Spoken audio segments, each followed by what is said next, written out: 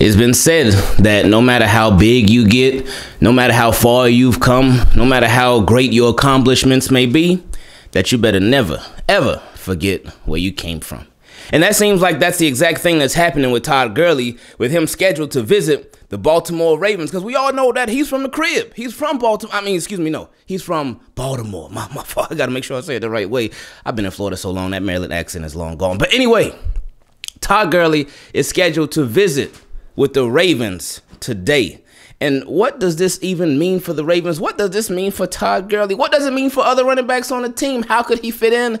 We're getting ready to talk about all of that. But before we get into this video, please tell somebody that you love them. Please tell your people that you love them, that you care about them, and even just that you're thinking about them. Because a small, a tiny, tiny, tiny message like that could have a huge impact. You just never know. Because like we always say, people are going through so much stuff, so much stuff that they face on a daily basis. And you sharing a positive word of encouragement, you sharing something uplifting with them, you just being nice, it can go a super, super long way. Please don't forget that. That's very, very important just in life, period. Anyway, I love y'all and I appreciate y'all. So, Todd Gurley to the Baltimore Ravens for a visit, for a visit. It's not a signing yet. What could this mean? Now, my guy Terrence, he chimed in. He said, Man, Todd Gurley, what are your thoughts on that? I always say add to your strengths. I knew it. This is the big move right here. And running is certainly the Ravens' strength. That is their bread and butter. And last year, when I thought that, I'm like, there's no way that they're gonna keep four running backs. There's, there's no, there's no way that they're gonna do that. Cause I was like, they're, they're not keeping Mark Ingram and uh, Gus Edwards and J.K. Dobbins and Justice Hill. I was like, oh no. Because as soon as they drafted uh, J.K. Dobbins, I was thinking, oh man, Gus Edwards about to be out. They about to trade him.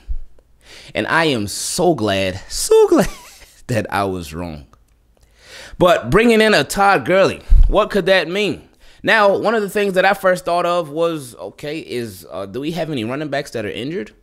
And no, we haven't heard anything about that. I mean, that photo of J.K. Dobbins and then the video to follow shortly after of him mossing Malik Harrison. And you just feel so bad for Malik Harrison, too. Because the photo, they, they tagged J.K. Dobbins, they had him all up in the air, and it just said, sheesh. And I mean, when we looked at it, that's the same thing we said, sheesh. Uh, but Malik Harrison was just standing there like, oh, man, why did they get me in this? And he just fell for him. And then, of course, the video surfaced, and then that made it look even worse. Uh, but anyway, J.K. Dobbins is fine. We saw Gus Edwards in here, and he reports about him being injured. Uh, and then one would think, okay, Justice Hill, is he hurt? We haven't heard anything about him. But then after that, since we get past the injury stage, so nobody's hurt. All the running backs are healthy. Then you think this could be one of those things where it's like, oh, okay, it could just be a look and see. See how Todd Gurley is. See how Todd Gurley, what type of shape he's in. See how he's looking and feeling. Especially because you know, a couple years ago they said he had arthritis and his his his knees ain't, ain't ain't been the same. But Todd Gurley, we know what Todd Gurley is capable of. And if he came to the Ravens, he would not have to be the number one or even the number two back. We know that he wouldn't be expected to do that. He may get in a little here and there, but it wouldn't be anything uh, too crazy. So one thing that I think about, and I know some other people thought about, oh man, what kind of impact could this have on Justice Hill? We know Justice Hill is the backup running back. He's the backup to Gus and JK. And the reason I say he's a backup running back because Gus and JK are like 1A and 1B. So where would this leave Justice Hill? Well, I actually think Justice Hill is safe. He's safe. Why? Because he's a gunner and he's a runner. Now, when he's a gunner, that means he's going for uh, to make that tackle on that punt returner. And then, of course, on kick return on special teams too.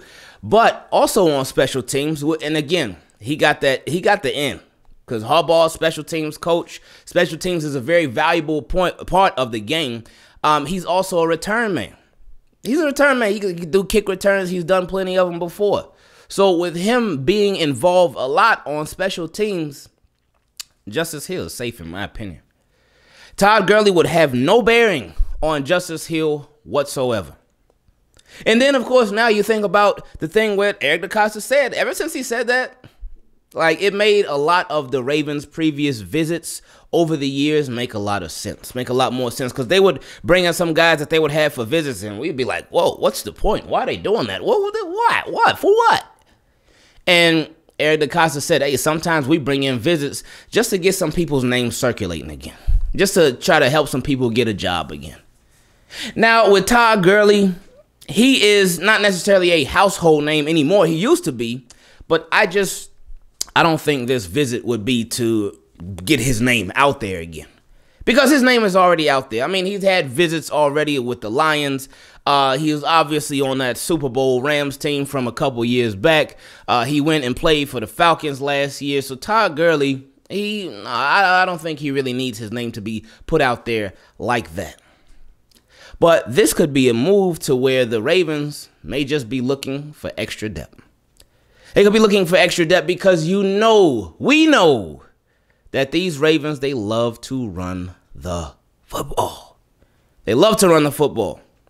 And the thing with that, one thing that confuses me a little bit is that is this year's offense. Because I know a lot of us expect this year's offense to be different, significantly different. Now, we do expect them to run that ball like crazy, like they always do. But we also expect them to pass the ball. Not, I can't say a lot more, but I think it's going to be a significant difference in the passing game. I think they're going to go to more four and five wide receiver sets, more spread sets. Because you know, hey, Lamar hit in those and in, in that spread, Lamar be doing some damage there. Lamar be doing some damage. And hopefully, too, something else that they can incorporate along with Lamar being under center more, because that adds more depth to your playbook. But besides that, hopefully, something else that they can incorporate more is the no huddle. The no huddle. The no huddle can be so just crucial. It can be very important, and it can be a, a very powerful thing. So, shout out to the no huddle offense because I remember they incorporated it last year, but it was just for that Colts game. And then after that, ah, uh, we didn't really see it too often after that. Uh, so hopefully this will be the year that um they incorporate it that much more. Now, um, something that uh, a point that somebody made because I, I, I tweeted this uh, about Todd Gurley visiting with the Ravens. Um, my guy uh, Lamar X Bateman on Twitter. He said that um, an underrated stat here is that Todd Gurley was very good in the pass game early in his career. So that could be something that would play a factor to the Ravens possibly signing a Todd Gurley. Now, me, I honestly, I don't think they're gonna sign him. I don't. If they do, though, okay, cool. The rich get richer. But I don't, I don't think they're gonna sign him. But we'll see, because his chances of signing are higher because that comp pick formula, that that's way out the window now, man. It's way past that little comp pick deadline formula and all that, so it wouldn't it wouldn't impact that. And you know Ravens. you know they let them comp picks, man. But anyway, uh, he has a high chance of uh, signing because of that. Now, um, my guy Dream Chaser 7054, he had a different view on Todd Gurley on why the Ravens could possibly sign him. And why Todd Gurley may want to possibly sign with the Ravens. Well, he said it's because he still remembers Monday Night Football. Ooh, and you remember the Jackson Five where Lamar Jackson threw five touchdowns. He ran all over the uh, the the Rams too. And that game, I remember going into that game thinking, "Oh man, we got to go against Aaron Donald.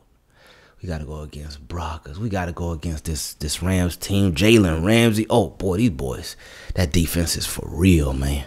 They are for real." And Ravens ran all over them and passed all over them too. They had a field day against those Rams. Uh, and he said, hashtag KD, Kevin Durant mentality, hashtag can't beat them, join them. So,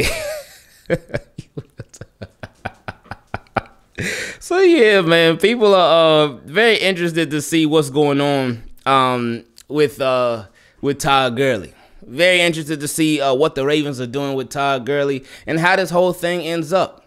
Now, I, I wouldn't be opposed to the signing. I, I wouldn't be opposed to it, but I, I uh, again, for me, I think they they would just be looking at it as a depth thing, as a depth thing, because you got your starting two, and then behind them, Justice Hill. Uh, so what would it hurt to have Todd Gurley back there too?